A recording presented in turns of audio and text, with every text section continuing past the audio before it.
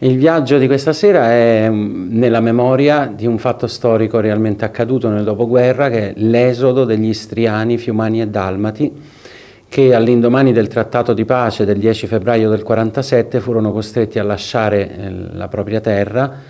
ehm, poiché si instaurò eh, in Jugoslavia, in quella che poi diventò la Jugoslavia, un regime di stampo comunista, violento, autoritario, quello del maresciallo Tito. L'esodo durò circa dieci anni, eh, ci fu anche una piccola percentuale di persone che decisero di rimanere eh, in quelle terre, ma la storia è incentrata soprattutto sugli esuli, cioè sulle persone che poi con grande fatica e con grande um, umiltà e coraggio decisero di ricostruire un, una vita intera qui nella loro patria dall'altra parte dell'Adriatico. Vivi odi balla, eh, quindi vivi e, e accorgerci forse, forse che, che, la vita è un dono, no? è, è, un regalo,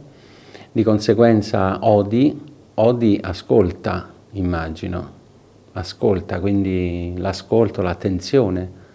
essere attenti, eh, non lasciarsi sfuggire la, la, poesia, visto che parliamo di D'Annunzio, e la poesia è è l'arte più sublime. Balla e vivi in qualche modo nella danza cosmica, nella danza dell'universo, quindi essere armoniosi, essere, mm, non essere nebulosi, come diceva San Francesco d'Assisi.